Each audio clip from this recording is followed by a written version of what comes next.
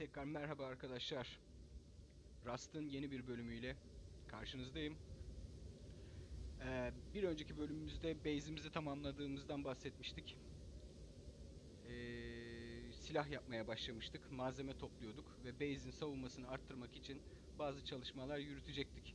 Ama ne yazık ki geç kalmışız ve base'imiz raid edilmiş ev patlatılmış, base patlatılmış, içerisinde ne varsa alınmış.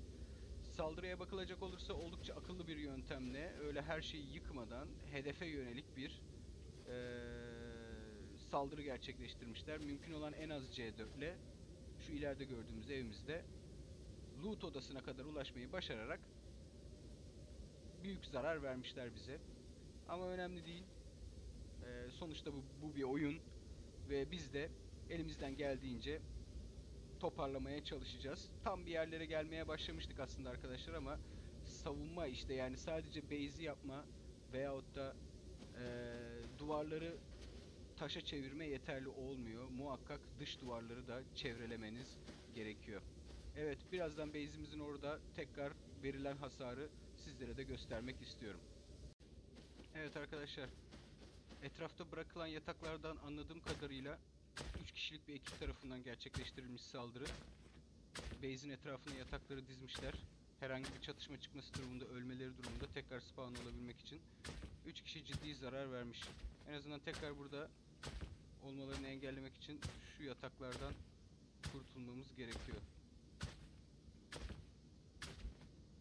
Hemen şunu yok edelim. Diğer ikisi de gördüğünüz gibi burada. Evet, hasardan bahsedelim biraz arkadaşlar.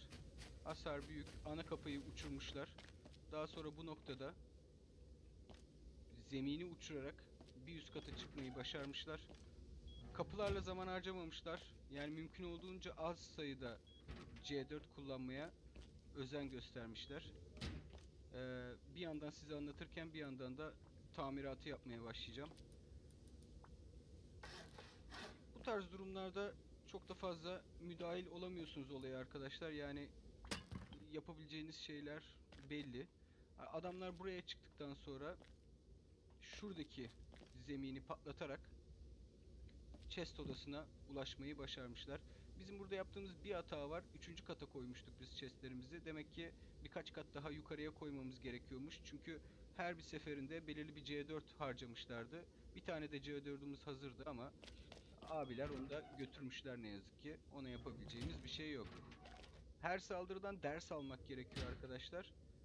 Bu bize bir ders olacak. Muhakkak dış duvarları güçlendirmemiz gerekiyor. Şurayı da tamire başlayalım.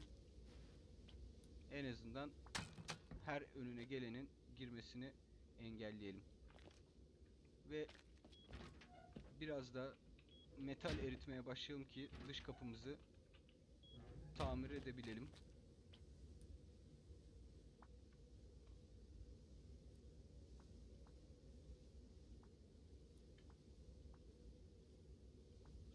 Şöyle dağıtıyorum metalleri.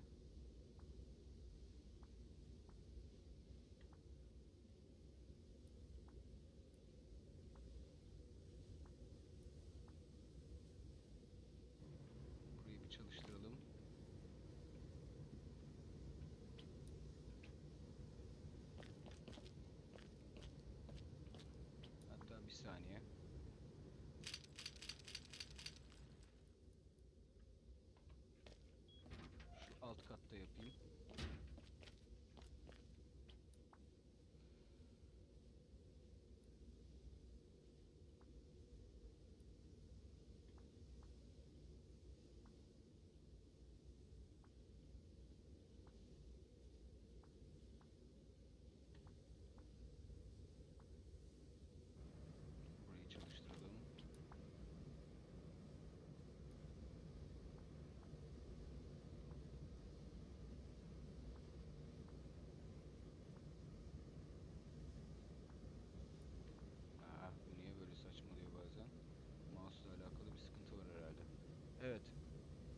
Tamir işlemine devam ediyoruz.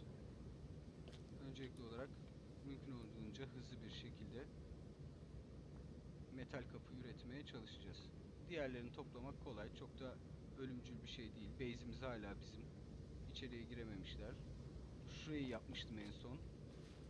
Ee, ki içeriye giremesinler diye. Yani bunun arkasında şey var. Ee, söyleyemedim. İnşaat alet dolabı var. Alet do- dolabına ulaşamadıkları için belki de umurlarında olmadığı için burayı kurtarmış olduk. Daha doğrusu buraya hiç girmemişler bile arkadaşlar. Kapılarla uğraşmadıkları için buradan yukarıya çıkmışlardı. Şurayı kırıp yukarıya çıkmışlardı. Tabii ki hiçbir şey bırakmamışlar. Son parçaya kadar her şeyi almış arkadaşlar.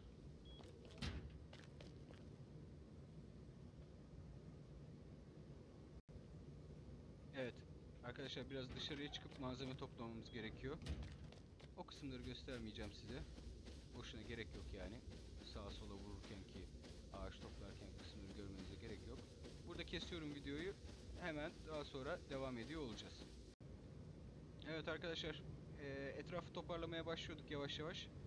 Kapıyı yapacak kadar malzemeye ulaşmak üzereyiz neredeyse. Bu arada yeni bir arkadaşımız daha aramıza katıldı. Kendisinin şu an videoya çekildiğinden haberi yok. Ee, talihsiz bir zamana gel- denk geldi ne yazık ki. Ona da kendisine de söyledim. Tam raid yedikten sonra ee, bizim aramıza katıldı. Önemli değil. Artık iki kişi değil, üç kişiyiz. Yavaş yavaş sayımız artmaya devam ediyor. Sizler de unutmayın lütfen. Eğer bizlere katılmak isterseniz her zaman kapımız size açık. Herhangi bir şekilde ee, güvensizlik gibi bir şey olmayacaktır bizim tarafımızdan. Evet arkadaşlar. Toparlama işlerine devam ediyoruz bir yandan. Yapılması gereken çok iş var. Tam böyle bir noktaya geldik derken eee, ne yazık ki raid yedik. Ama her işte bir hayır varmış bakın. Üçüncü bir arkadaşımız aramıza katıldı. Eee, böylelikle iki kişi yerine üç kişiyiz artık. Biraz daha güçlüyüz anlamına geliyor. Sonuçta blueprintler elimizde arkadaşlar. Yani blueprintler elinizdeyse sıkıntı değil. Gidiyorsun, topluyorsun, loot yapıyorsun, fırında pişiriyorsun, yapıyorsun tekrar. Önemli değil yani. Sonuçta bir oyun oynuyoruz burada. Yalnız yapılması gereken şey her saldırıdan bir ders çıkartabilmek. Orası çok önemli. Biz hatalarımızı gördük. Hatalarımızdan biri taş duvarlara fazlasıyla güvenmek. E, bunun sonucu da adamlar işte 4'er 5'er C4 ile en üst loot odasına kadar çıkabiliyorlar. Bunu bir daha yapmamak için önlemimizi alacağız. Dış duvarları arttıracağız. Gerekirse dış duvarların önüne başka bir set daha çekmemiz gerekiyor. Yani adam içeriye girerken mümkün olduğunca zarar görmeli. Zarar görmekten kastım maliyetli olmalı ki vazgeçsin. Böylelikle eee, en azından teşebbüs eden adamları bile eee, gözünü korkutarak şey yapabiliriz. Nasıl derler? Caydırabiliriz. Bu sefer yapacağım biraz daha farklı. Loot'u en üst kata taşımayı planlıyorum. En azından mümkün olduğunca adamlara zarar verebilelim. Maliyetli olsun. Kaybedeceksek kaybedeceğiz zaten. Yapacak bir şey yok. Ama mümkün olduğunca maliyetli olmasını da sağlamak bizlerin elinde. Şöyle bir tane raf yapayım. Ee, rafı yaptıktan sonra da bakalım ikinci bir şeye ağacımız yetmiyor. Olsun önemli değil. Rafları yapmaya çalışırken bir yandan şöyle üst kata çıkıp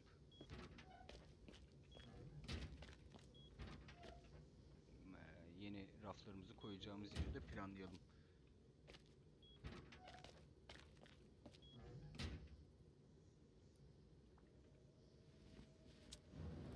Evet, neresi olmalı diye düşünüyorum bir yandan.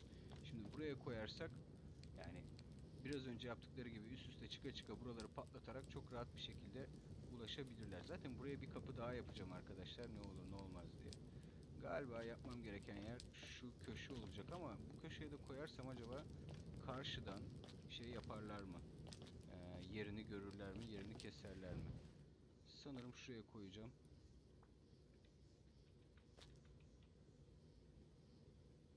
Oradan da görecekler ama. Hmm. Pencereler bayağı bir sıkıntı yaratıyor. Şöyle koyabilir miyim?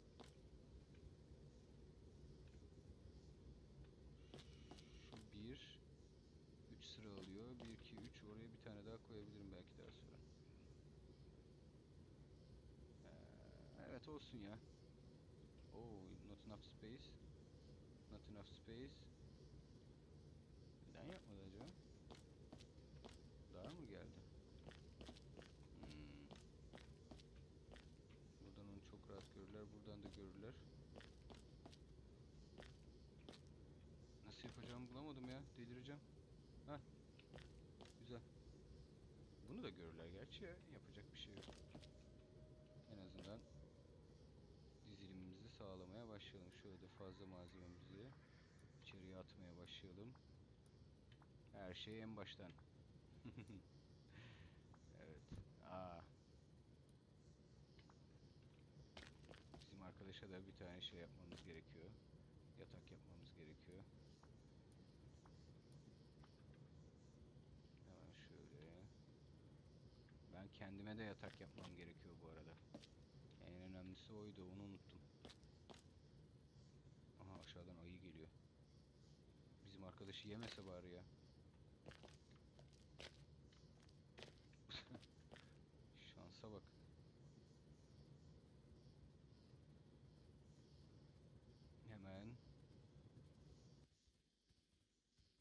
Arkadaşın yatağını, Ömer'in yatağını atalım şuraya. Evet. Evet arkadaşlar. Aa, bugünkü planım aslında biraz daha farklıydı. Başka bir bölüm çekmek istiyordum ama e, raid yedikten sonra ne yazık ki toparlanma aşamasını çekmek zorunda kaldım. Her neyse önemli değil. Bu işten daha da güçlü çıkacağız. En kısa zamanda tekrar toparlanıp serverda yapmamız gereken diğer işleri de yapıyor olacağız. Beni izlediğiniz için gerçekten çok teşekkür ediyorum arkadaşlar. Desteğiniz için gerçekten çok teşekkür ediyorum. Yorumlarınız için gerçekten çok teşekkür ediyorum. Sağ olun gerçekten e, her videonun altına yorum yazıyorsunuz, ilginizi belli ediyorsunuz. Bu benim için çok büyük bir motivasyon kaynağı. E, bu sebepten dolayı ben de daha iyi videolar çekmek için daha iyi fırsatlar kolluyorum her seferinde. Şu an gecenin bir buçuğu ama önemli değil. Ee, daha videoyu tamamlayacağım. Daha sonrasında montaja gireceğim. Önemli olan sizlerle eğlenceli vakit geçirebiliyor olmak. Evet peki yavaş yavaş sona getirelim. Videomuzu sonlandıralım. Videoyu beğenmeyi, yorum yapmayı ve abone olmayı lütfen unutmayın. Desteğiniz için tekrar tekrar teşekkür ediyorum. Ben Killswitch. Gerçek ismimle Ilgar. Bir sonraki bölüme kadar görüşmek üzere. Kendinize çok iyi bakın.